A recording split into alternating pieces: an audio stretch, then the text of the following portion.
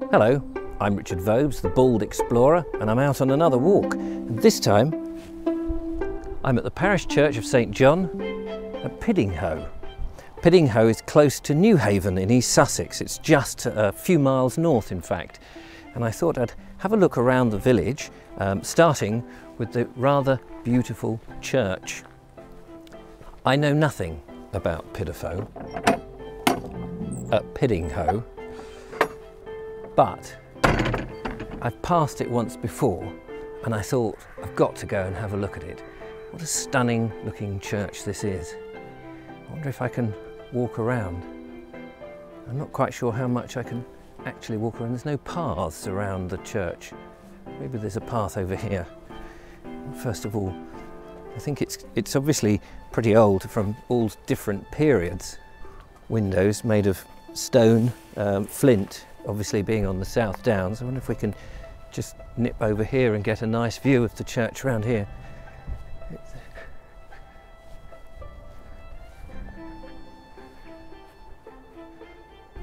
If I cross round here, it's got a fascinating spire with what looks like a fish on the very top.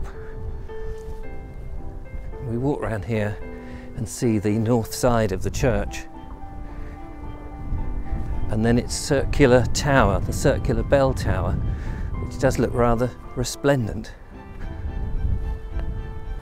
Behind me, we get the Great Ouse, or rather not the Great Ouse, the one up in uh, um, East Anglia. We're talking about the Ouse as in this wonderful, magnificent river that comes in at Newhaven and winds its way up northward. And here it is, just down there. Presumably there's a, a way to get down to that.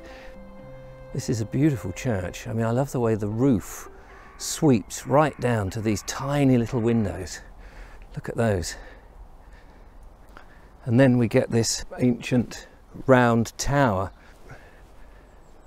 Love the, uh, the lichen or lichen as they prefer to call it, the, the tiles on the roof and the shingles on the spire. It is a particularly magnificent example of a, a, an old church here down in Piddinghoe. Let's climb over for a second. Absolutely magnificent.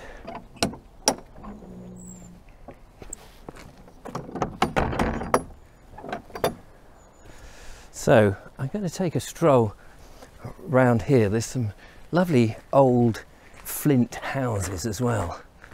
I hadn't had a chance really to read much about Piddinghoe, but I gather that Piddinghoe was very much the centre of smuggling, probably in the 18th and 19th century. You can tell just by the fact that the Ouse is here. You could come up in the dead of night and uh, smuggle your goods from uh, the little little crafts and bring them ashore ready to be taken up into the town of Lewes. An absolute amazing array here of daffodils, just stunning. And then these wonderful flint cottages and houses right in the heart of this very quaint English village. But I want to go down to the river. I want to go down to the river, leave all this splendour, and I notice there's a path here that will take us down there. So let's go and have a quick look past this footpath here, which says Newhaven one and a half miles and Lewes, six and a half. And there in front of us, the magnificence of the river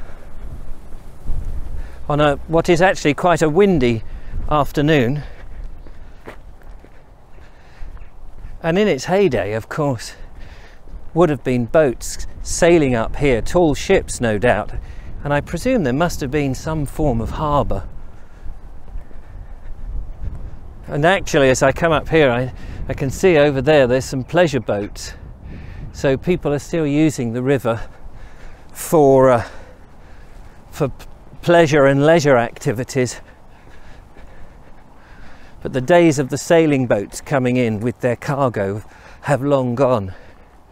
but it's quite a wide expanse of river here. I dare say this area that I'm walking on must flood when when you get too much rain and, and water coming through. Ahead, a nice old flint barn here. Clearly a footpath along the river where people walk their dogs or come out for a moment's meditation. Heading southwards at the moment, back towards Newhaven. It's a very lovely rural place. And in the sunshine, of course, it looks particularly wonderful, like most places. Curious old barn here.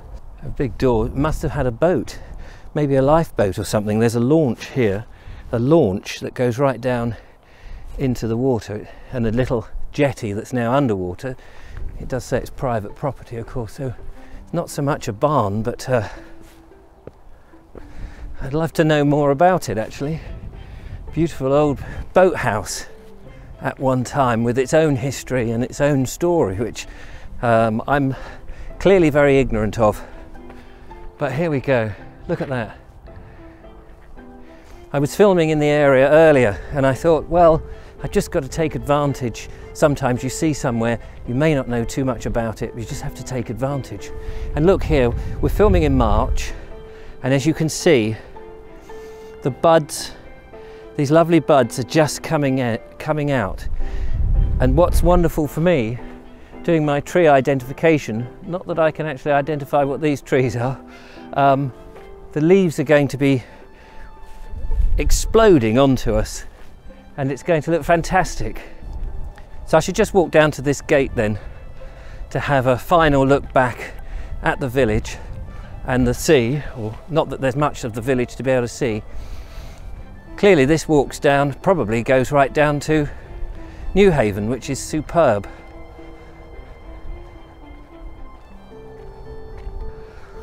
Well, ladies and gentlemen, I won't bother to go any further.